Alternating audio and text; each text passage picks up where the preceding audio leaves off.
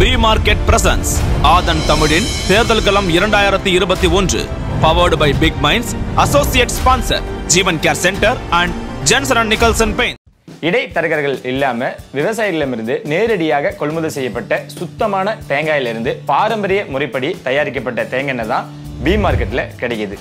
B market B the change Big Genius அகாடமியின் plus two மாணவர்களுக்கான big minds tuition batches அனுபவம் வாய்ந்த ஆசிரியர்களை கொண்டு சிறந்த முறையில் பயிற்றுவிக்கப்படுகிறது. பாடப்பிரிவுகள் மேத்ஸ் பிசிக்ஸ் கெமிஸ்ட்ரி பயாலஜி மேலும் விவரங்களுக்கு ஒன்பது கீழ் இருபத்தி இரண்டு ஜம்புகேஸ்வரர் நகர் திருச்சி ஐந்து. தொடர்புக்கு eight zero nine eight zero two eight zero five six. குடி மற்றும் போதை பழக்கத்திற்கு அடிமையாகி இருண்ட உலகில் மாட்டிக்கொண்டீர்களா? உங்கள் வாழ்வின் வெளிச்சத்திற்கு ஒளியேற்றுகிறது ஜீவன் கேர் சென்டர். நம்பிக்கையோடு நீங்கள் எடுத்து வைக்கும் முதலடி நாளை உங்களை புன்னகை தேசத்தில் குடும்பத்துடன் சேர்த்து வைக்கும் ஜீவன் கேர் சென்டர்.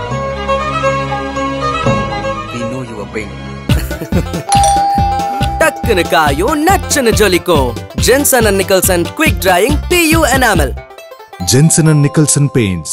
Thanjavur சட்டமன்ற தொகுதியில் ஆயிரத்தி தொள்ளாயிரத்தி எழுபத்தி ஏழாம் ஆண்டு திமுக சார்பில் போட்டியிட்ட எஸ் நடராஜன் வெற்றி பெற்றார். எண்பதாம் ஆண்டும் எஸ் நடராஜன் அவர்களே திமுக சார்பில் மீண்டும் வெற்றியடைந்தார். எண்பத்து நான்காம் ஆண்டு காங்கிரஸ் கட்சியின் சார்பில் போட்டியிட்ட துரை கிருஷ்ணமூர்த்தி வெற்றி பெற்றார். எண்பத்தி ஒன்பதாம் ஆண்டு திமுக சார்பில் போட்டியிட்ட எஸ் என் எம் உபயத்துல்லா வெற்றி பெற்றார். தொன்னூற்று ஓராம் ஆண்டு அதிமுக சார்பில் போட்டியிட்ட எஸ் டி சோமசுந்தரம் வெற்றியடைந்தார். தொன்னூற்று ஆறாம் ஆண்டு திமுக சார்பில் போட்டியிட்ட எஸ் என் எம் உபயத்துல்லா வெற்றி பெற்றார். இரண்டாயிரத்தி ஓராம் ஆண்டும் எஸ் என் எம் உபயத்துல்லாவே திமுக சார்பில் மீண்டும் வெற்றி பெற்றார். இரண்டாயிரத்து ஆறாம் ஆண்டும் தொடர்ந்து மூன்றாவது முறையாக எஸ் என் எம் உபயத்துல்லாவே திமுக சார்பில் வெற்றி பெற்றார். இரண்டாயிரத்து பதினோராம் ஆண்டு அதிமுக சார்பில் போட்டியிட்ட எம் ரங்கசாமி வெற்றியடைந்தார். இரண்டாயிரத்து பதினாறாம் ஆண்டு அஇஅதிமுக சார்பில் போட்டியிட்ட எம் ரங்கசாமியே மீண்டும் வெற்றி பெற்றார். இரண்டாயிரத்தி பத்தொன்பதாம் ஆண்டு டி கேஜி நீலமேகம் திராவிட முன்னேற்ற கழகம் சார்பில் போட்டியிட்டு வெற்றி பெற்றார். தஞ்சாவூர் சட்டமன்ற தொகுதியில் காங்கிரஸ் கட்சி நான்கு முறை வெற்றி பெற்றிருக்கிறது. அதிகபட்சமாக திமுக இத்தொகுதியில் ஒன்பது முறை வென்றிருக்கிறது. அதிமுக மூன்று முறையும் மார்க்சிஸ்ட் கம்யூனிஸ்ட் கட்சி ஒரு முறையும் இந்த தொகுதியில் வென்றிருக்கின்றன. இரண்டாயிரத்து பதினாறாம் ஆண்டு அதிமுக சார்பில் தேர்வு செய்யப்பட்ட எம். ரங்கசாமி தகுதி நீக்கம் செய்யப்படவே அடுத்து வந்த இரண்டாயிரத்தி பத்தொன்பதாம் ஆண்டு இடைத்தேர்தலில் திமுக சார்பில் நீலமேகம் என்பவர் போட்டியிட்டு வெற்றி பெற்றார். இரண்டாயிரத்தி இருபத்தி ஓராம் ஆண்டு சட்டமன்ற தேர்தலில் தஞ்சாவூர் மக்கள் யாரை தேர்ந்தெடுக்கப் போகிறார்கள்? மக்களின் பதில்கள் இதோ. உங்களுடைய ஆதரவு யார் முதல்வராக வந்தால் நல்லா இருக்கும்னு நீங்க நினைக்கிறீங்க? இருக்கிறவங்களே இருந்தால் நல்லா இருக்கும்னு நினைக்கிறோம். ஏடிஎம்கே நல்லா செஞ்சுக்கிட்டு தான் இருக்காங்க ஒரு நல்லா செஞ்சு தளபதி தான்? நான் ஸ்டாலின் வந்தால் நல்லா இருக்கும்னு நினைக்கிறேன். ஐயா எடப்பாடி பழனிசாமி அவருக்கு தான். ஸ்டாலின் வந்து அவர் நல்லா இருக்கணும் எல்லா மக்கள் எதிர்பார்க்குறாங்க. நமக்கு வந்து ஏடிஎம்கே தான் ப்ரோ ஏடிஎம்கே ஏடிஎம்கே யார் வந்தாலும் என்ன செய்ய செய்ய போகிறாங்க செய்யறதான் செய்ய போகிறாங்க ஏடிஎம்கே தான். எடப்பாடி பழனிசாமி தான். சீமான். நாம் தமிழ் ஏடிஎம்கே எடப்பாடி செய்கிற ஆட்சி நல்லா இருக்கு. சீமானை எதிர்பார்க்கலாம். ஏடிஎம்கே வரப்போகிற தேர்தல் எங்கள் ஆதரவு டிஎம்கேக்கு தான். பாஜகவுக்கு நான் சப்போர்ட் பண்ணுறேன் ஏடிஎம்கே தான். இப்போக்கி டிடிவி முதல்வரானா நல்லா இருக்கும் சீமான் தான். கண்டிப்பாக ஏடிஎம்கேக்கு தான். கமல். ஆட்சி வந்தால் நல்ல ஆட்சியாக இருக்கணும் அதெல்லாம். இதில் மாற்றம் வரணும். ஏற்கனவே இருந்தவங்களுக்கு வாய்ப்பு கொடுக்குறது போல புதுசாக வாய்ப்பு கொடுத்தா நல்லது செய்வாங்களான்ற ஒரு நம்பிக்கையின் பேரில் தான். ஏடிஎம்கே யாராவது மூணாவது கூட்டணி ஒன்று ரெடியாக இருந்தால் நல்லா இருக்குமே. கமலை ஆதரிச்சா ஓரளவு நல்லா இருக்கும். சீமான் தான் கரெக்டாக இருக்கும். தளபதி மு க ஸ்டாலினுக்கு தான். ஏடிஎம்கே இந்த தஞ்சாவூர் தொகுதியோட முக்கியமான பிரச்சனை என்னன்னா? எங்கள் ஊருக்கு முக்கியமான பிரச்சனைன்னு பார்த்தீங்கன்னா தண்ணி பிரச்சனை தான் அதிகமாக இருக்கும். அது இல்லாமல் இப்போ கரெக்டாக காவிரிலேருந்து தண்ணி அதிகமாக வந்துட்டுருக்கு. காவிரி மேலாண்மை அனுப்பிச்சிருக்காங்க விவசாய பிரச்சனை. விவசாயம் ரோடு பிரச்சனை. ரோடு எங்கேயுமே குண்டு குழிமாக ஒன்றுமே போட மாட்டேங்கிறான். மேடு மேலே போட்டு எல்லாம் தண்ணி பூரா வீட்டு உள்ளே போகுது. விவசாய நிலம் பூரா அறுவடை ஆகாமல் தண்ணியில் கிடக்குது.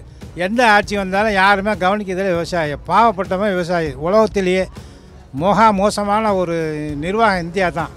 என்னோட எங்களோட முக்கியமான பிரச்சனைன்னு பார்த்தீங்கன்னா காலேஜுக்கு பஸ்ஸு சரியான டைமுக்கு வர்றதில்ல. ரோடு சரி கிடையாது.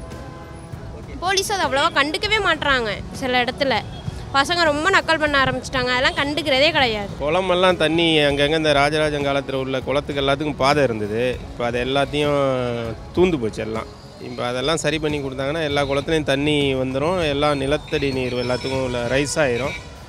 நிலத்தடி நீர் ரைஸ் ஆகிறப்ப தண்ணி பிரச்சனை கொஞ்சம் குறையும். தஞ்சாவூரோட மிக முக்கிய முக்கியமான பிரச்சனை பாதாள சாக்கடை பிரச்சனை. இப்போ எல்லா தெருக்கள்லையும் பார்த்தீங்கன்னா பாதாள நோண்டி போட்டிருக்கோம். மழை நேரம் வந்தால் இந்த த தண்ணி வடிகிற பிரச்சனை ரொம்ப பெரிய பிரச்சனை இருக்குது மழை தண்ணியோடு சேர்ந்து பாதாள சாக்கடையும் சேர்ந்து வந்துட்டுருக்கு தஞ்சாவூரில் பிரச்சனை என்னன்னு பார்த்தீங்கன்னா ரோடு பிரச்சனை இருக்குது அதை பார்த்து தண்ணி பிரச்சனையாக இருக்குது பஸ் ஸ்டாண்டு கட்டுறன்றதுல இன்னும் மக்களுக்கு கொஞ்சம் சிரமம் ஏற்பட்டுட்டு இருக்கு. அதனால் போக்குவரத்துனால கொஞ்சம் நெரிசல் ஏற்படுது. இன்னும் நிறைய பிரச்சனைகள் இருக்குது சொல்லிகிட்டே இருக்கலாம். உங்களுக்கு மெயினான ரோடு வசதி இருக்குது எல்லாமே இருக்குது ஆனால் குண்டு குழி யாரை குறை சொல்கிறது சொல்லுங்கள் முதல்ல ரோடு சரி கிடையாது. எல்லா இடத்துலையும் பார்த்தீங்கன்னா ரோடு வந்து ரொம்ப டேமேஜாக இருக்குது தண்ணிலாம் இப்போ சேறு அதிகமாக இருக்குது வண்டியில் போகிறவங்களே ரொம்ப சிரமப்பட்டு தான் போயிட்டுருக்காங்க இப்போதைக்கு தற்போது தஞ்சாவூர் ரொம்ப முக்கியமானது சுற்றுலா மேம்பாட்டு துறையில் நம்ம தஞ்சாவூர் மிக பெரும்பான்மையான இடத்த வகிக்கிறது.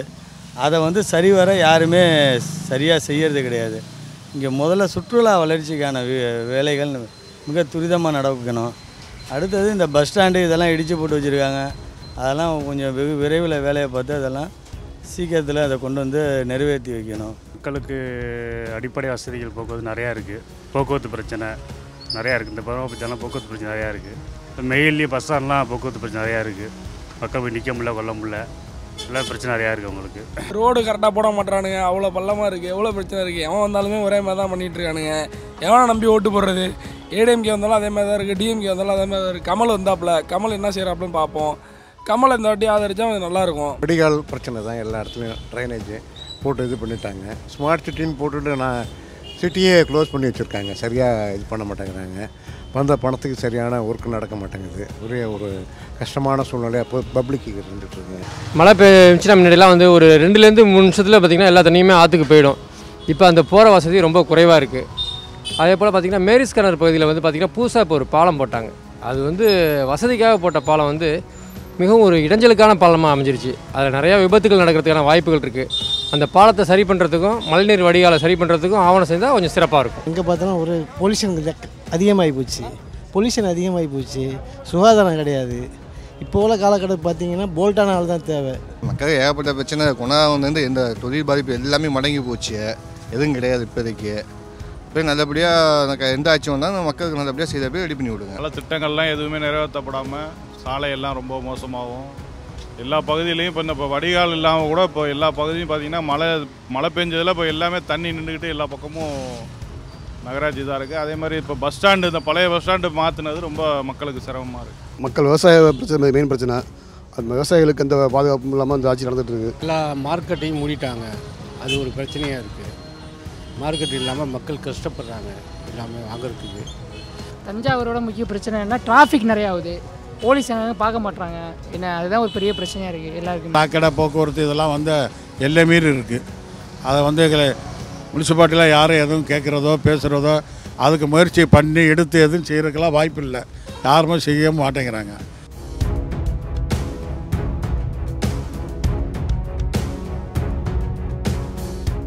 ஆதன் தமிழின் தேடல் களம் சிறப்பு வாகனம் தமிழ்நாடு முழுக்க பயணித்து மக்களுடைய மனநிலையை அறிந்து கொண்டு வருகிறது. அந்த வகையில் இன்னைக்கு நாம தமிழகத்தின் நெற்களஞ்சியம்னு சொல்லப்படுகிற தஞ்சாவூர் பகுதிக்கு தான் இருக்கோம். இந்த தஞ்சாவூர் பகுதி அவ்வளவு சிறப்பு வாய்ந்த தொகுதி. ஏன்னா ஆயிரத்தி தொள்ளாயிரத்தி எழுபத்தி ரெண்டாவது தேர்தலில் கலைஞர் கருணாநிதி அவர்கள் போட்டியிட்டு வெற்றி பெற்ற தொகுதி தான் இந்த தஞ்சாவூர் தொகுதி.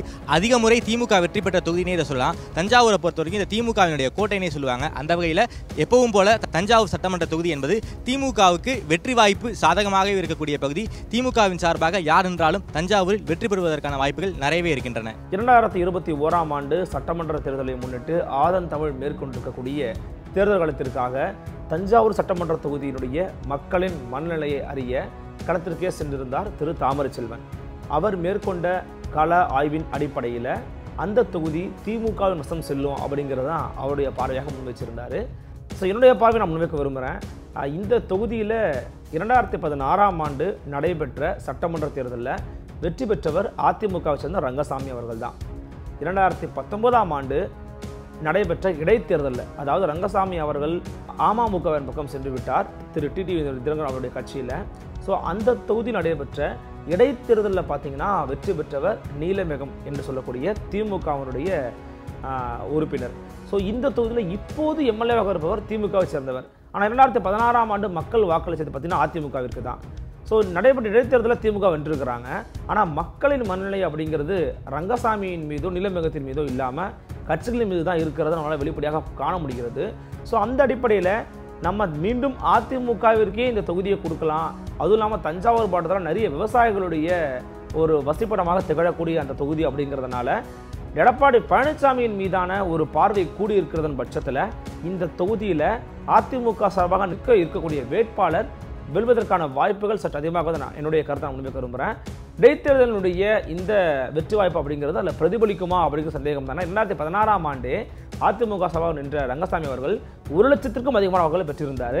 ஸோ ரெண்டாயிரத்தி இருபத்தி ஓராம் ஆண்டும் அதிமுகவின் வசம் இந்த தொகுதி செல்வதற்கான வாய்ப்புகள் சற்று அதிகமாக இருப்பதாக தான் என்னுடைய பார்வையை நான் முன்வைக்க விரும்புகிறேன் தாமரை செல்வனின் கணிப்பு நடக்குமா அல்லது அருள்மொழிவர்மனின் கணிப்பு நடக்குமா? உங்கள் கருத்துக்களை கமெண்ட் செக்ஷனில் பகிரவும்.